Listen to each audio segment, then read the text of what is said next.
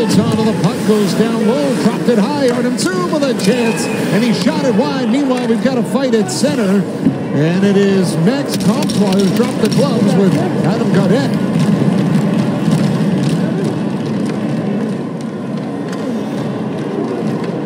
And it was the end of a shift for Gaudette.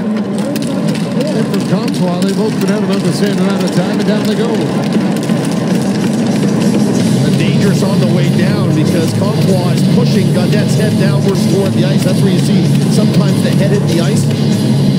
Good scrap between these two guys. I was watching Zub take the shot at the net, and this was happening up by the benches. I'm not quite sure what started it. Formenton with a little chip off the wall.